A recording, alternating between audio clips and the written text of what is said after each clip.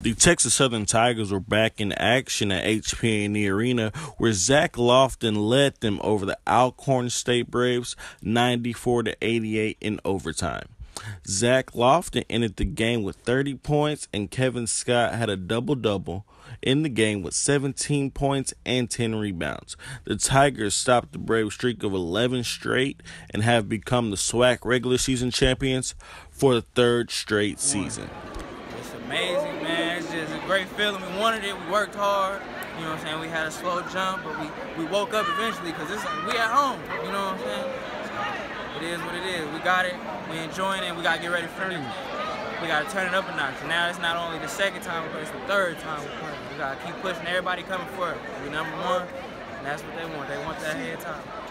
I am here at HP&E Arena where the women Tigers and the men Tigers just beat Alcorn State. The men were able to take home the SWAC championship for the third straight year. I'm Meshach Sullivan reporting for TSU TV.